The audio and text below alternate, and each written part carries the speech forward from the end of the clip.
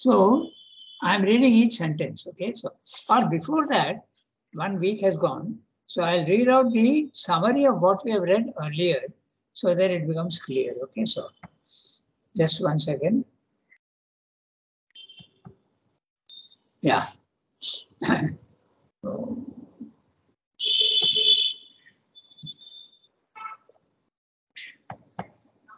yeah, now I've got it. So, so man, this I'm reading the summary of the previous paragraph. So to get a sense of continuity. Man is not free when in ignorance. He is driven by the forces of nature, sattva, rajas, tamas. But who has given nature these three modes? Is there again another entity who has created nature and her mechanical workings? Yes, there is a conscious being, the Lord, who is also, the Lord is witness, Sakshi, knower, Jnata, enjoyer, Bhokta, upholder, Bharta, sanction giver, Anumanta. He, all these things at different levels. Okay, so one may call him Lord, Soul, Purusha. Prakriti does the works in the cosmos. Purusha behind her witnesses, assents, agrees to whatever she is doing, bears and upholds. Okay? It's like your parents supporting their children from behind. Okay, so it's exactly like that. You agree to what they have done. Then Prakriti shapes thoughts in our mind. Purusha, in and behind her, is knower of thoughts and their truths. Prakriti gives the result of action and work. Purusha behind enjoys and suffers the consequences. To mind, life, and body, shapes them, develops them. It is nature that does that. Purusha upholds and sanctions each step of this development through many lives. Prakriti has will force to make things work in objects, creatures, and men everywhere. Purusha gives the vision to direct and will force to the intended work. Okay? Now, this Purusha is not the ego which operates only at level one. Okay? All the Purusha, the witness self and all these are operating only at level two. Okay? This Purusha is not the ego which operates only at level one. In the ignorance, Purusha is the silent self at level. He is the source of power and also the initiator and receiver of knowledge. This mental I is the ego, is a shadow, a distorted reflection of the true self. Ego has some sort of secondary reality, it's a reflection. It's a conditional reality. At the physical level, it is real. But as you go up, you find that it is not real, just like a shadow. Okay? A distorted reflection of the true self. Purusha is cause, recipient, and support for all Prakriti's efforts. Okay? Nature is doing everything in the physical world, but the divine is supporting Prakriti in all her actions. Purusha does not work. He is static, silent. Prakriti has a double status. Okay? In the cosmos level one, she is nature force, apparently unconscious and mechanical. Everything in the physical world, all the forces are mechanical, subject to the laws of physics. Okay? In the upper hemisphere, Prakriti, which is level one, level two, and level three, she is the universal mother, Parashakti. These are the two aspects of Prakriti, responsible for all action in the cosmos. Universal mother is the only worker. Working is all done always by the Prakriti, Shakti, the divine mother. So the Lord, Ishvara, is always supporting. There is a. Now we can read what we have to read. Again. Purusha Prakriti, and different words he is using, consciousness force. Purusha is consciousness and Prakriti is force. Remember that the principle is the same, whether it is. But as it keeps coming down in all the different planes, the Purusha puts on different aspects. At the highest level, he is Lord. And the lowest level, he becomes absolutely hidden by his own power, by choice. Prakriti at the highest level is the Divine Mother, Shakti. But as it she becomes only mechanical and unconscious force in the physical world. So now he's using different, uh, three different phrases. Purusha Prakriti, which is the same as consciousness force or soul supporting nature, these are equivalent terms. For the two, even in their separation, are one and inseparable. They are always together in different degrees, okay? Are at once a universal and transcendent power. So at the universal level, Purusha is there hiding behind the force and Prakriti is doing all the work in the universe. At the highest level, they are equal to each other. They are both, they are one in two. Sri Aurobindo uses the word biune. They are not two who are together. No, they are one. Okay, as they come down, that one becomes a two, separate. But at the highest level, they are one. Again, we refer back to icon uh, science uh, you know, in our Indian temples, the Ardhanarishwara, half man, half woman. These are the uh, representations. Actually, Prakriti is not feminine at all, but they consider it like that. That's why the Divine Mother. Okay, so very faintly that becomes the because in the physical world it is like that, male and female. But actually, at the highest level, there is no gender at all. It is just consciousness and force. At the lower level, it becomes man and woman. That's why they use the word divine mother. But at the highest level, the divine mother is, there's no gender there at all. You know, in one of her mother's talks, she says that I saw my body in the supramental world and it was completely sexless. Okay. There is no sex at all in it. So very clearly, this is a human conception corresponding slightly to the idea in the physical world, man and woman. Okay, so the question of gender comes up. But there's no gender at the highest level. Are at once a universal and transcendent power. But there is something in the individual too, which is not the mental ego. Something that is one in essence which is greater reality. So it is a pure reflection or portion of the one Purusha.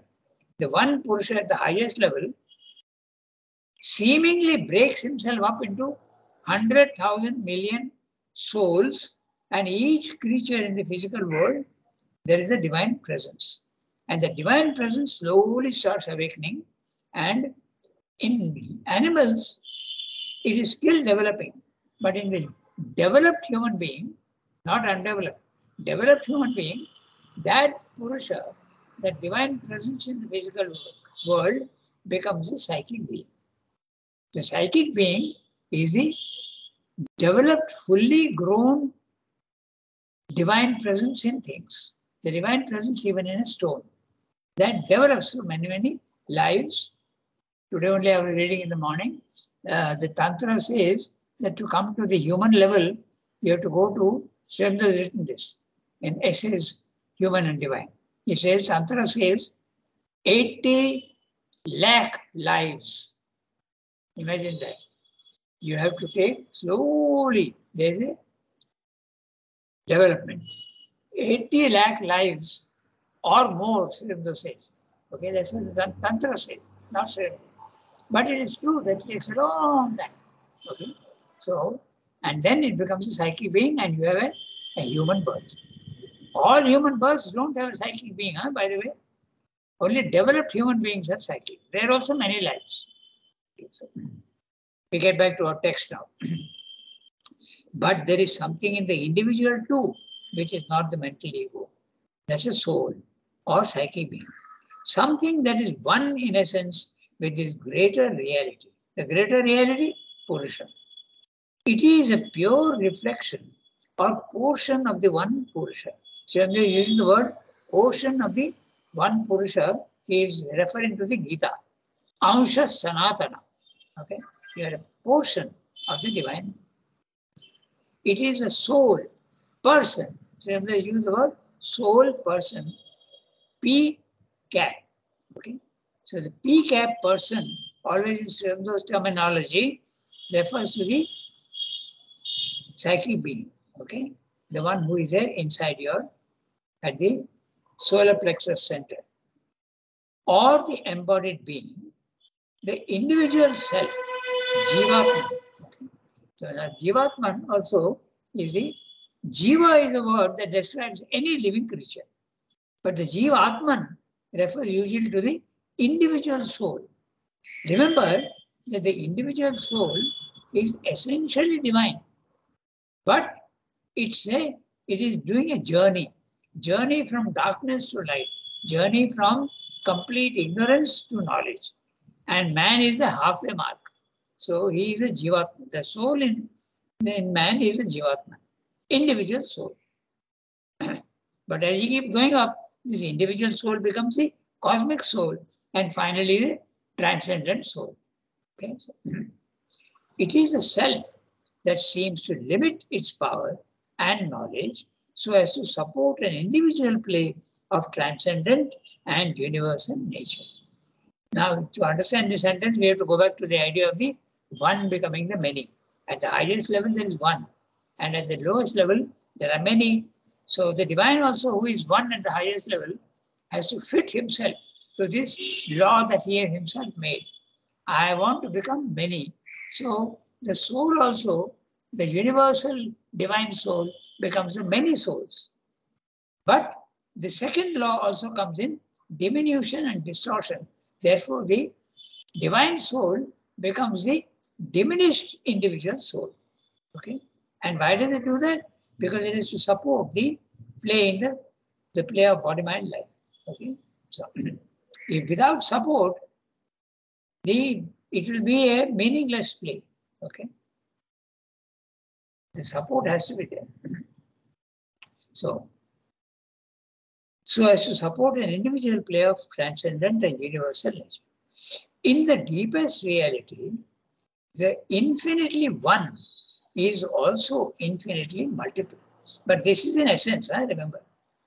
We are not only a reflection or portion of that, but we are that. Essentially, you are that, but you have forgotten that you are that at the lower level. Okay? In deepest reality, the one, the infinitely one is also infinitely multiple. We are not only a reflection of portion of that PCAP, but we are that. We are that, actually. Our spiritual individuality, unlike our ego, does not preclude our universality and transcendence. The word preclude means to exclude, okay, to reject. Okay, the word prevent from happening, make impossible. So does not make impossible our universality. We may be individual and finite the soul, but when it goes to the cosmic consciousness, it becomes universal and it can even become transcendent. So the possibility of the individual becoming cosmic and transcendent is very much there. That's what we're saying. But at present, the soul or self in us, intent on individualization, individualization in nature allows itself to be confused with the idea of the ego. Willingly, it is submitting itself to ignorance. Why? Because again, you come back to that idea of the game, okay? The adventure. It is plunging itself into its opposite and is escaping and enjoying the, the journey. Okay, enjoy. The soul is enjoying, okay? But the body mind life is sometimes suffering and complaining. But the soul is always enjoying everything. it has to get rid of the ignorance. It has to know itself as a reflection and portion or being of the supreme universal self. And solely a center of consciousness for the world action.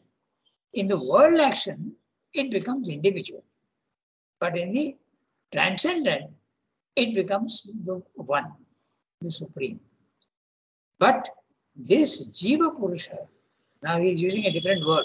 He's saying Jiva Purusha, but Jiva Purusha is nothing but the Jivatman, the individual soul. this Jiva Purusha too is not the doer of works any more than the ego or the supporting consciousness of witness and knower. The soul never works, it only watches, guides, supports. Okay? Again and always, it is the transcendent and universal Shakti who is the sole doer. All the Chit Shakti. Chit is always watching and guiding with knowledge. It is Shakti that does the work. The Supreme, uh, wait, wait, I have to read the, yeah. Again and always, it's a transcendent and universal Shakti who is the sole doer. But behind her is the one Supreme who manifests through her as a dual power, Purusha Prakriti, Ishvara Shakti. The Supreme becomes dynamic as the Shakti and is by her the sole originator and master of her works in the universe. Remember the in Life Divine, you have a huge chapter, one of the biggest chapters. Brahman Purusha Ishvara Maya Prakriti Shakti. Okay. Brahman becomes the Ishvara at the highest level. So that completes the, and there's a footnote. So we'll read that footnote. Okay. And that footnote is very interesting. Just see carefully. Ishwar Shakti is not quite the same as Purusha Prakriti. In other words, there are three levels. Okay. At level one, at the lowest level, Ishvara is your individual soul, and Shakti is your body, mind, life. Outer nature. At this middle, the Ishvara becomes the Purusha, consciousness, and Prakriti becomes the universe. Okay. At the highest level, it becomes Ishvara Shakti, divine power and divine Lord. So that's what I'm explaining here. Ishvara Shakti is not quite the same as Purusha Prakriti. For Purusha and Prakriti are separate powers, but Ishvara and Shakti contain each other. Ishvara contains Shakti and Shakti also contains consciousness. Consciousness contains power and power is guided by consciousness within her. Okay? Contain each other. Ishvara is a term used for the third level and Prakriti who contains Ishvara is Purusha, sorry, Ishvara is Purusha who contains Prakriti and rules by the power of the Shakti within him. Ruler because he is a king, he is a ruler, he is a lord, master. Shakti is Prakriti ensouled by Purusha. Now note the interesting words. Okay? Shakti is a mechanical energy, but her essential soul is Purusha. Consciousness is therein. If you want to put it in a very blunt manner, okay, at the highest level, consciousness and force are both involved in each other. Consciousness has got Shakti in itself, and Shakti has got consciousness in herself.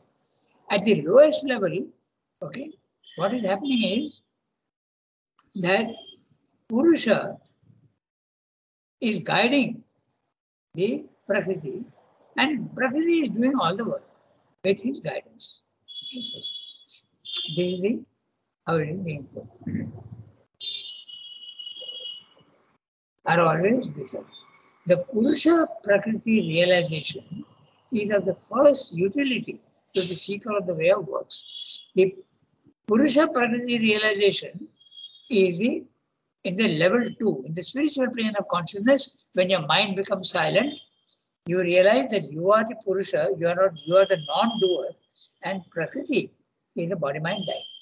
All your universal nature is actually motivating and using your body-mind life as puppets. And you are only watching. Okay? So they are the level two, the spiritual consciousness. The Purusha Prakriti realization is the first utility to the seeker on the way of works. For way of works, you feel that you are doing the work, but when you go to the level two, you realize you are not doing the work at all. You are only agreeing to whatever the Shakti is doing in the universe. For it is the separation of the conscient being and energy and the subjection of the being to the mechanism of the energy that are the efficient cause of our uh, ignorance and imperfection. In philosophy, you speak of two different types of causes, okay? Efficient cause, material cause, and the final essential cause, okay? The essential cause is divine.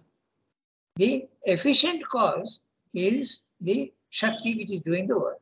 And the material cause is matter. Out of matter comes everything. Okay, so that's the efficient cause of our ignorance and imperfection. By this realization, the being can liberate himself from the mechanical action of the nature and become free and arrive at a first spiritual control over the nature. So, at level two, at the higher planes of uh, level two, that means the intuitive mind and the overmind, you can become, you can start becoming master of your body mind life. Okay? Not fully, but to a great extent.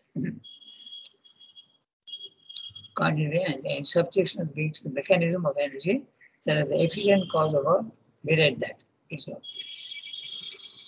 And by this realization, the being can liberate himself from the mechanical action of the nature and become free. Freedom, mukti, is achieved when the soul escapes from the body mind life and goes up to level two.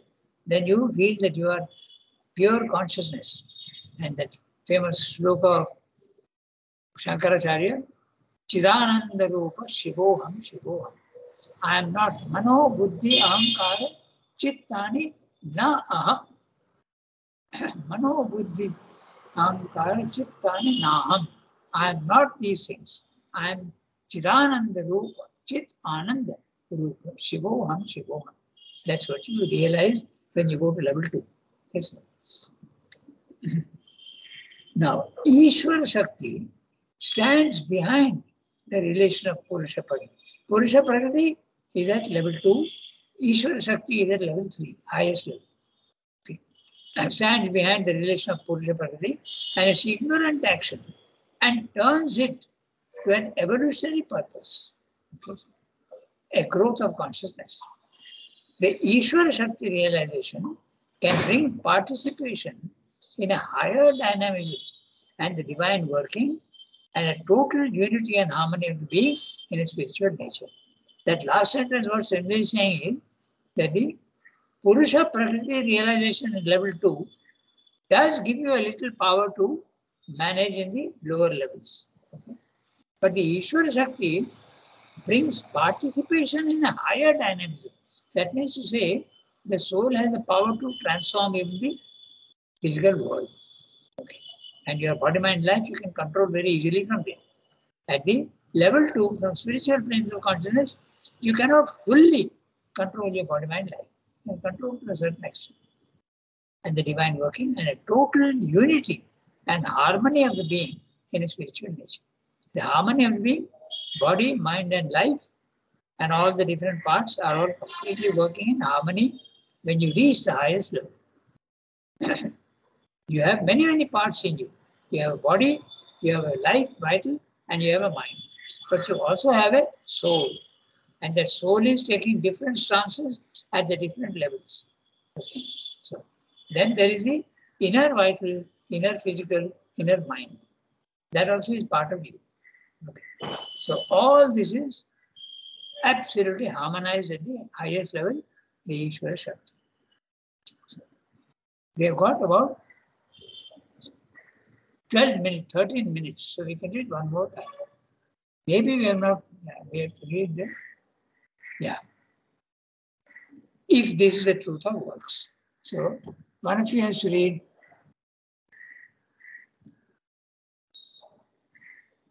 Shall I read? Yes, Pallavi, do. Read. If this is the truth of works.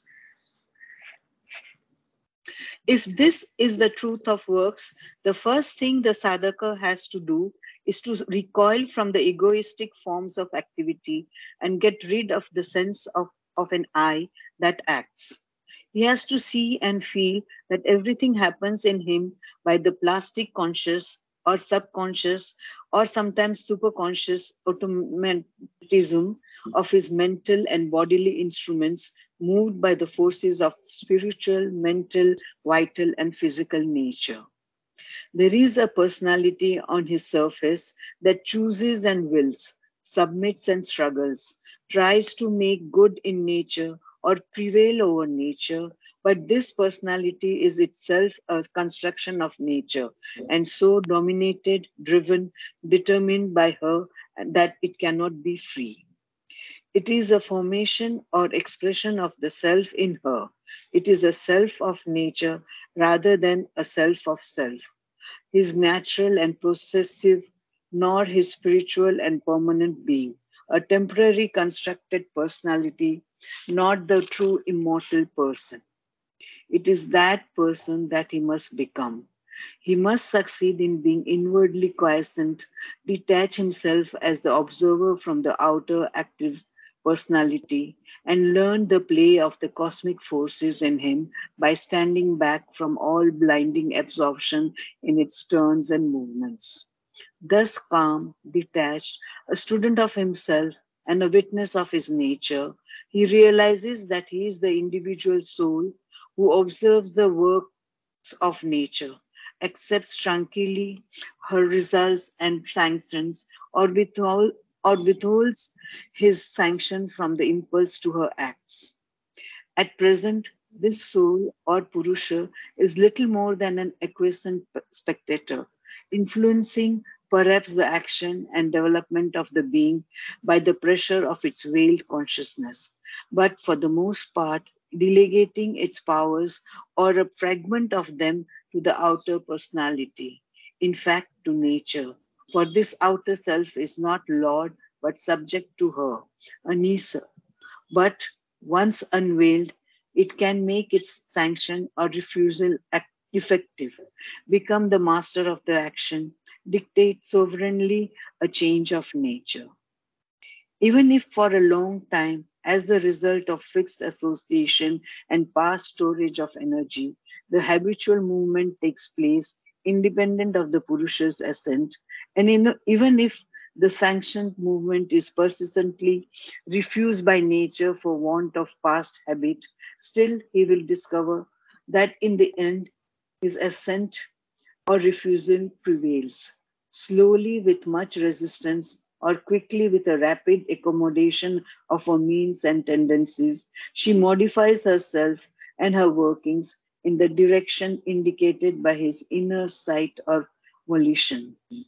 Thus, he learns in place of mental control or egoistic will an inner spiritual control, which makes him master of nature forces that work in him and not their unconscious instrument or mechanic slave. Above and around him is the Shakti, the universal mother, and from her he can get all his inmost souls, soul needs and wills if only he has a true knowledge of her ways and a true surrender to the divine will in her.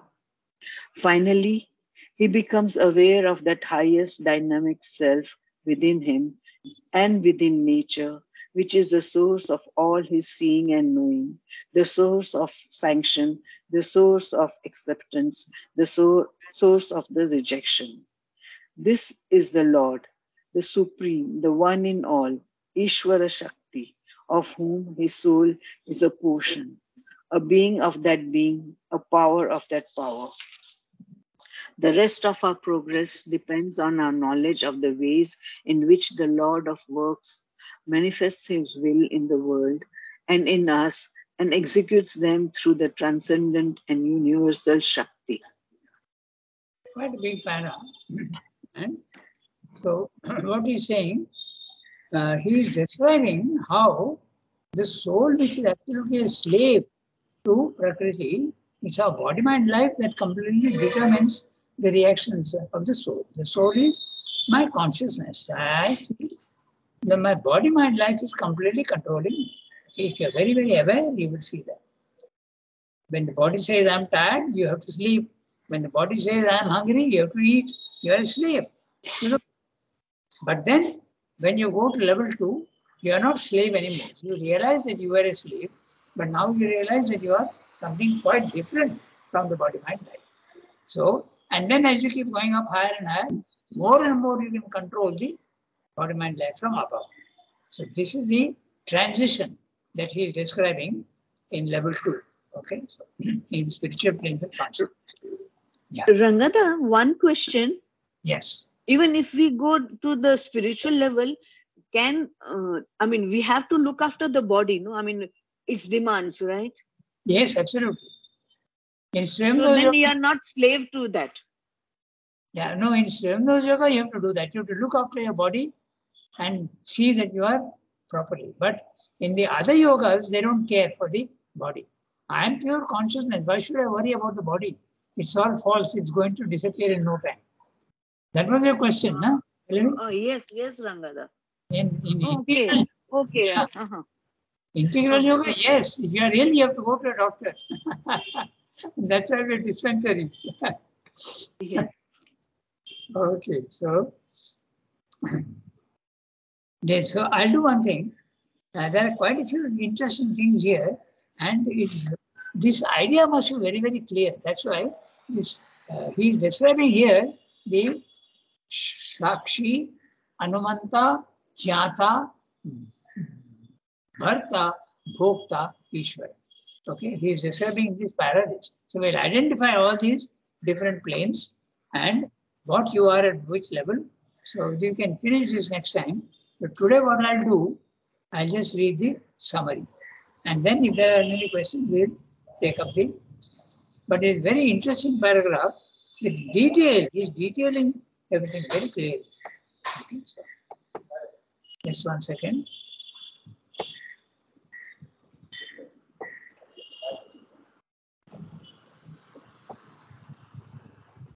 Yeah.